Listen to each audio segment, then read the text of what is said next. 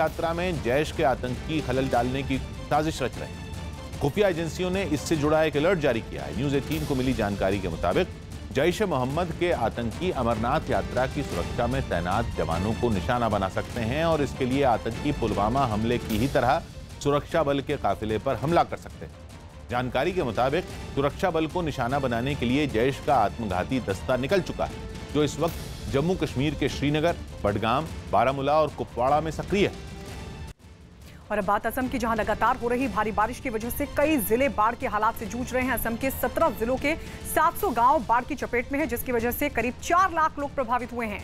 असम में ज़्यादातर नदियाँ उफान पर हैं और कई नदियों का जलस्तर खतरे के निशान को क्रॉस कर गया है। कुछ इलाकों में तो प्रशासन ने चेतावनी भी जारी कर दी है। बाढ़ में फंसे लोगों को उनके गाँव से बोट की मदद से निकाला जा रहा है। आने वाले दिनों में हालात और खराब होने की आशंका है। लखनऊ में सड़क सुरक्षा के मुद्दे पर बैठक हुई।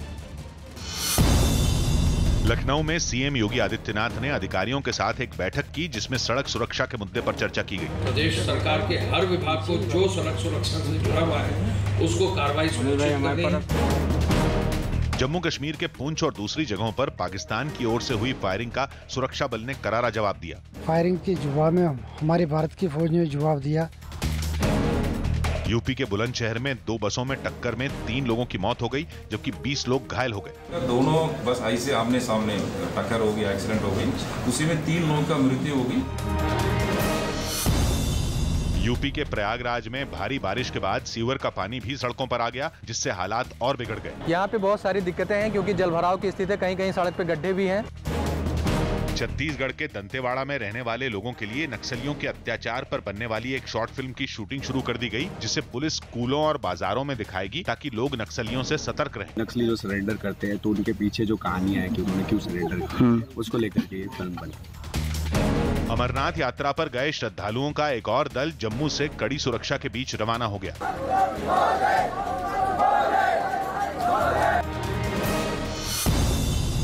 यूपी के सीतापुर के एक अस्पताल में बारिश का पानी टपकने से वहाँ मरीजों और कर्मचारियों को परेशानी का सामना करना पड़ा जबकि पानी की वजह से दवाइयाँ भी भीग गईं।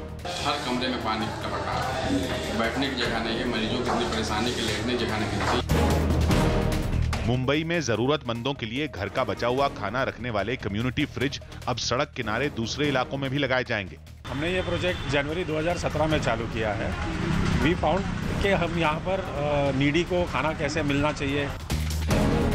गुजरात के गिर के जंगल में शेरों की सुरक्षा के लिए सैटेलाइट की मदद से नज़र रखने समेत कई फैसले लिए गए। 25 लाइंस को रेडियो कॉलर कर दिए हैं।